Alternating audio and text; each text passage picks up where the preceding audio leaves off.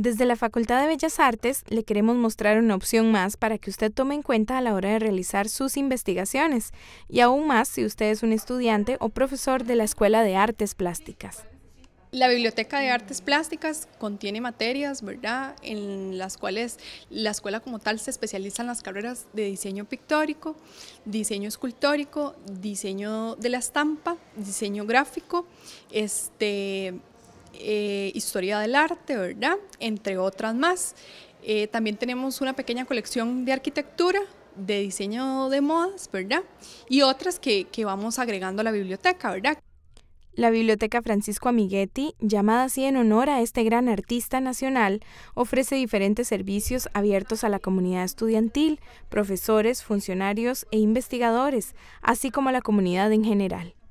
Eh, brindamos el servicio de referencia presencial, el de referencia virtual, este, el, servicio también de préstamo a domicilio, préstamo a sala, préstamo interbibliotecario. También damos guía en lo que tiene que ver con las bases de datos eh, especializadas en arte. También eh, damos guía y colaboramos a los estudiantes y a la comunidad en general con respecto a la citación, ¿verdad? Y, las, y cómo se hacen las referencias bibliográficas.